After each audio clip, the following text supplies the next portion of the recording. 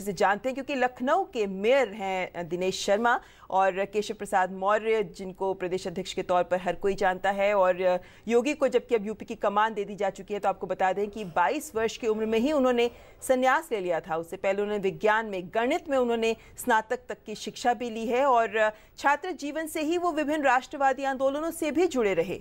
और अब जबकि वो उत्तर प्रदेश के मुख्यमंत्री का पद संभालने जा रहे हैं तो लंबा सफ़र तय किया है उन्होंने। उन्नीस सौ अठानवे में वो पहली बार सांसद बन गए थे और तब 26 साल की ही उम्र थी सिर्फ़ उनकी। सबसे युवा लोकसभा की सांसद बनने का श्रेय उन्हें प्राप्त हुआ है। पाँच बार वो गोरखपुर से ही सांसद बन चुके हैं। और उत्तर प्रदेश में काफ़ी लोकप्रिय नेता हैं योगी आदित्यनाथ और इस बार भी हमने देखा